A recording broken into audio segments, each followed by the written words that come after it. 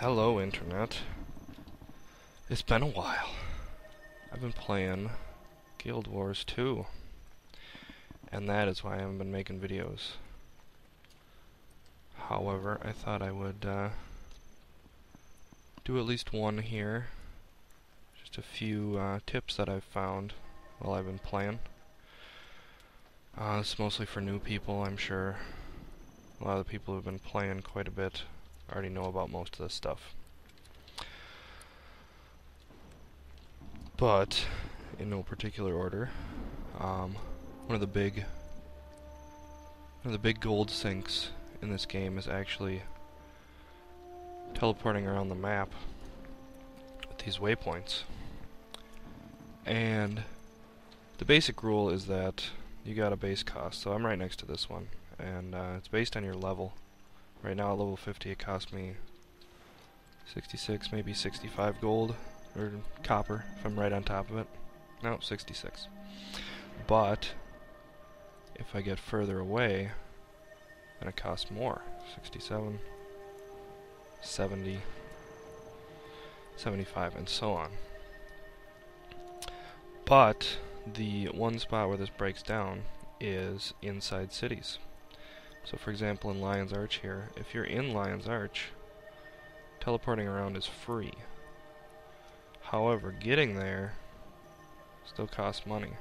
So say I want to get down to the canal ward here from where I am, that costs 82. But it only costs 71 here. Or even less on this side. So one of the things you can do to cut your costs, if you don't mind an extra loading screen, is to, well, we'll go here. You teleport to the nearest point in the city, and then teleport again to where you want to go once you're in the city, and that'll save you a few bucks. There's also an even better way. If you're going to cities or places near a city, you can basically avoid the cost altogether. So see, now that I'm in here, it's all free. The way that you can avoid the cost completely, wherever you are, you open up the hero panel, and you go to the PvP section, you can go to the Heart of the Mists. When you first come here, you'll have to uh, do a little tutorial. It's three uh, three hearts that you have to do, but they're all they're not real hearts. They're super simple. And then from that point on, you'll be taken automatically straight to the heart of the mists. And as you can see, you pop out right here, and just a few feet away is a gate to Lion's Arch. And of course, from Lion's Arch, you can go to any of the other major cities. So that's completely free. The only downside to it is if you have a mediocre computer like me, you have to sit through three loading screens to get to one of the racial cities. And maybe more if you're going someplace outside of there. So sometimes the convenience of just teleporting is kind of nice. But if you're trying to save money, this is a great way to do it because those costs add up really quickly, especially once you start getting to higher levels when it's like a silver or more at a time. Alright. Another thing that uh, I wish I had known when I was leveling. I hadn't paid too much attention prior to the start of Guild Wars, but uh, if you know exactly what levels you are going to get uh, skills and traits, that can make a huge difference. So, you want to save up your skill points at first for when you start to unlock these utility slots. Um, you get these at 5, 10, and 20 levels, respectively.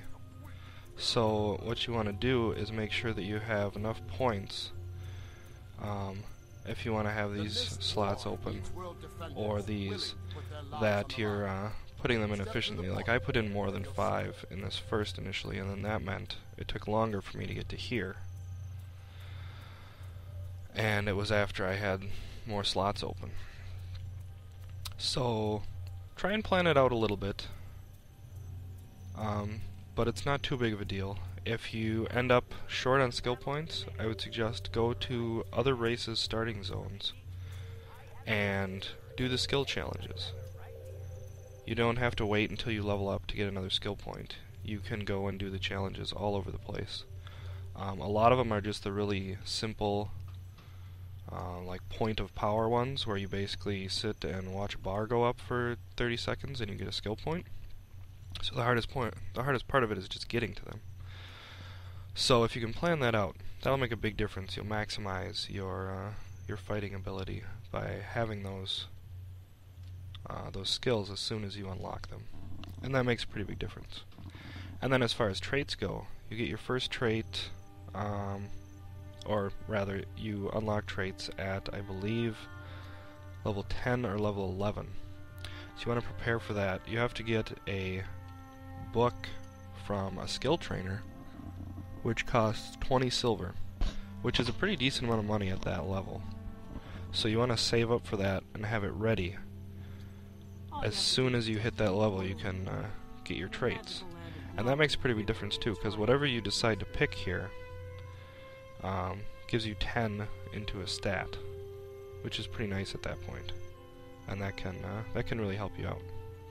The other thing I would encourage is that uh, you want to pick one of these and go 10 points into it before you do anything else because that lets you get the minor and uh, major trait bonuses. Whereas uh, if you do like 5 into 2, then you would just get two minor ones. And maybe that's what you want, but at least plan for it. Decide what you want. Um, look at all of these skills in the different trees. You know, maybe you're not that excited about uh, getting toughness but you might be really excited about one of the uh, one of the talents that you get in here. So, planning ahead can make a big difference, and that was one of the things I didn't do on my first character, so I was a little behind.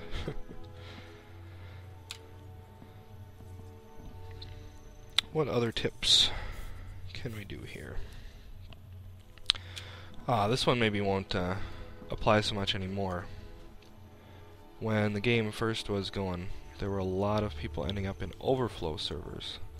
And basically all an overflow server means is that if your server is really crowded in a specific area, you'll get put on another server so that you can still play, but you're not playing on your usual server, basically. And the interesting thing about this is that everything is completely separately instanced because you're on a different server. So one of the nice advantages of this is that all of the crafting material nodes are completely different on the different servers. So if you do end up in an overflow, one quick way to make money is to just go around and collect all the nodes, and then when it's uh, when your regular server is ready, you can go there and collect them all again. This is especially efficient in some of the areas where there are farms or things like that. I know, let's see here. Ooh, we're lagging a little bit. I know for sure that in Queensdale, in this area here, there's a bunch of farms, and there'll just be, you know, 10 or 15 crafting nodes in this little area. Places like that are a great spot to just stock up on that stuff. And then you can either use it or, you know, just sell it and make a little extra money. But that is a super quick way to do it.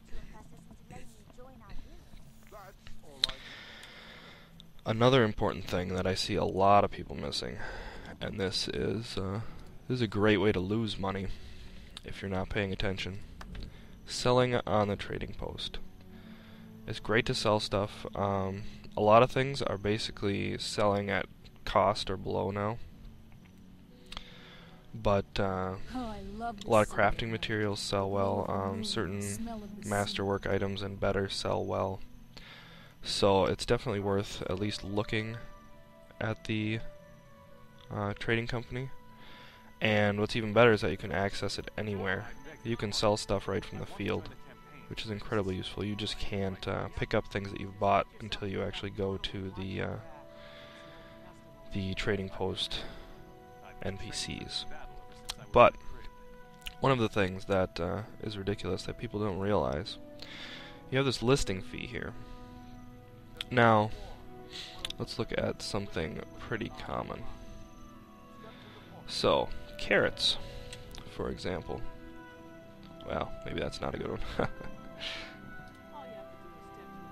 what else have we got here? Let's find something like Journeyman Maintenance Oil. Or Cheese Triangle. Alright, so. Cheese Triangles. You've only got a listing fee of one here, right? And everyone's selling them for two. Because that's the vendor price, basically. Or one above the vendor price.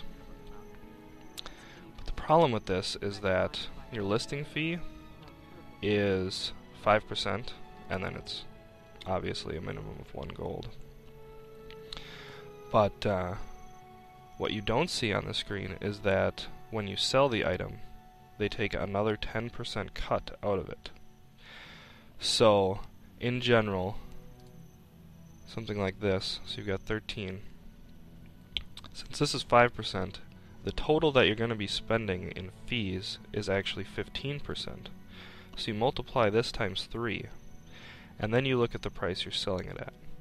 And a ton of stuff in the auction house, if they would actually do this little calculation, they're losing a significant amount of money.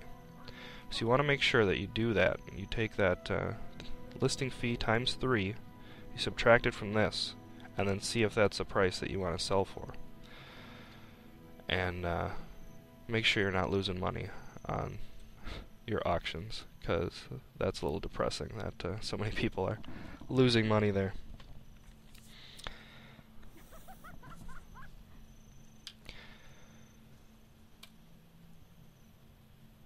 Now, as far as leveling, I've I've been reading a lot of the Guild Wars Reddit and a little bit of the forums, and at least um, initially there are a lot, a lot, a lot of complaints about people who would quote do everything in a zone, and they'd end up being maybe level 13, and the next zone is level 15 plus,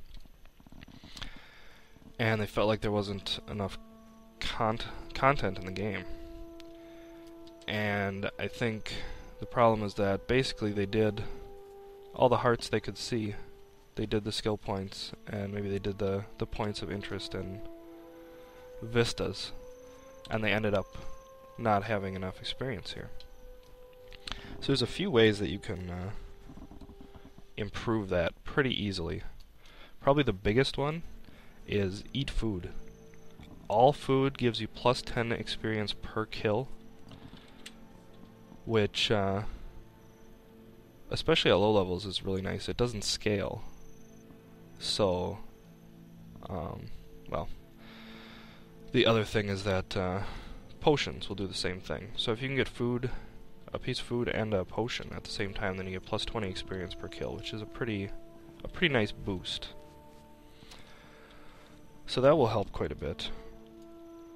Another thing you can do is crafting even if you don't enjoy crafting that much, I would definitely encourage you to do it in Guild Wars. Basically, everything you craft will get you experience, um, and even more if it's near your level, so keeping up with it helps a lot. In addition to that, the discovery panel, which is how you get new recipes, is by far the best way to get experience crafting.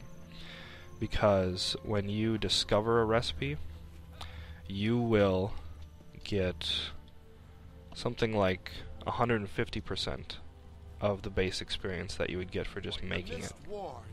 So discovering a lot of things is much better than grinding out like 20 of the same thing.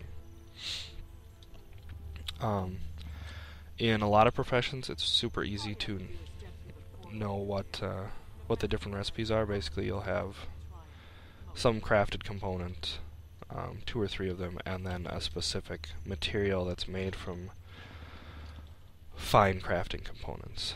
And you can basically just take those three components and every fine crafting component and get a new item with a different uh, base stat.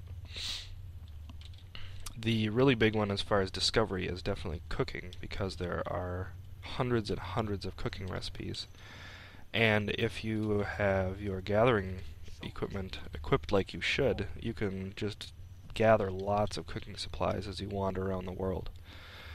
I have uh, I've been leveling cooking and I haven't needed to ever buy any cooking supplies at all and I still have a ton in my bank actually. I had to uh, I had to stop leveling it because I literally ran out of bank space with three tabs.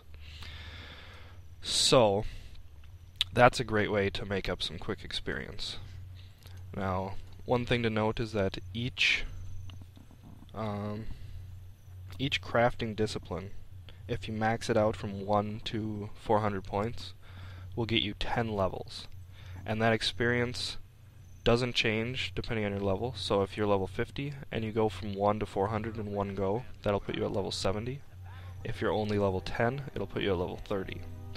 Um, a lot of people have gotten to 80 by getting up to uh, 60 or 70 and then just maxing some crafting professions. That's one way you can do it. But if you're having trouble uh, getting to the level that you need for your story quest or that next zone, that's a great way to do it. And uh, you can do it the the way where you just grind it at the end to get those last levels, but I think it's a lot nicer to do it as you're going. So I would uh, I would definitely encourage that. And then you can get items for yourself as well, so you don't have to buy that stuff or rely on whatever happens to drop for you. The other really nice uh, source of experience. Clearing maps is good, but doing your daily achievements actually nets you quite a bit of experience. And these are fairly easy things to do. I usually find that if I'm playing for maybe an hour, I can easily get the uh, the daily gil- daily kills and the daily gather stuff maxed out, no problem. It's very easy. This one especially because each node you get three or four of something off of, and that counts three or four to your gatherings. So that's very simple. The only tricky ones, um, daily kill variety can be a little tricky if you're in some zones where there aren't a lot of different things. One thing that can make a big difference is non-combat creatures like rats or badgers or whatever little random animals you find out in the world will I'm trying to find one now but I don't see any. Um, those will count towards it so that can be an easy way to get one or two points in there. Um, also go after the animals that are yellow that don't uh, attack automatically and those will usually get you a couple too if you still have trouble with that, the uh, the easiest way to do it is just have a couple alts, you know, and then you just switch from your Asura to your human or whatever, and there's completely different animals in the different uh, zones. So that makes it very, very simple to get that. So usually the one that I end up doing or completing last is the events one. Um, this is another one where if you have alts it can be fairly easy because most of the starting zones have a lot of events just to kind of uh, teach you how they work. So that can be easy if you have low level alts that you can just run one or two events on. Um, you can always, there's some events like for example the uh, where I just was in Bloodtide Coast, this Stormbluff Isle area is very nice because there's an invasion event right here that gets uh, run every, I don't know, five or ten minutes. I did it twice while I was, uh, right before I started doing this video. There's also an event right out here that spawns frequently. So, um, just try and find those places where those events happen frequently in your area. You might, uh, if you're having a hard time, you can stick around and wait for one to repeat or something. But usually it's not too bad if you go looking for them. And uh, especially if you do all the events that you see as you're going around the world. So that can make a really big difference.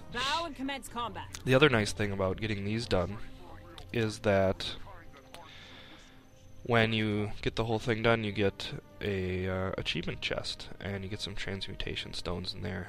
You get a little bit of money, so that's pretty nice. it's a good reward for a fairly easy thing to do if you're going to be on for maybe an hour or whatever. And if you're really into achievements, you can work on your monthly achievements too, as you can see. I'm not, uh, I'm not doing that awesome at the monthly achievements. I think I died did this, so I have to start over on that guy. But that is a really good way to uh, get an extra level or two. The other thing that uh, I've noticed for a lot of people, and I had this issue too, is that melee in this game can be really hard to get your head around. All of the dodging, um, especially if you come from a WoW background like I did, I played a lot of WoW, and that just trains you to uh, not be very mobile. You you know enough that uh, if there's a red circle on the ground, you need to get out of the way, but dodging targeted abilities and things like that, you're just not used to that at all.